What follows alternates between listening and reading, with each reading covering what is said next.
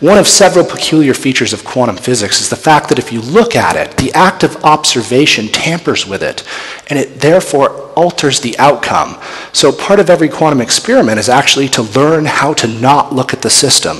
You can look at it, but it'll change it. It'll change it such that it does exactly what we anticipate in the classical world.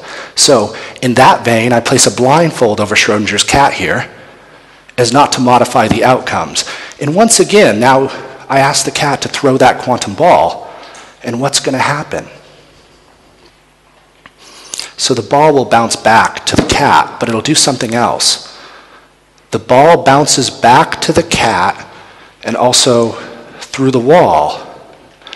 The act of the ball going through the wall is referred to as quantum tunneling, and that's peculiar. The fact is, I didn't say it does one or the other with some probability. I said it does both concurrently, simultaneously. And that's called quantum non-locality. And that's very strange. Very strange. And so perhaps some of you will protest again because I did tell you that this is the physics of our world. Quantum theory is the physics of our world. Why then does this seem so peculiar?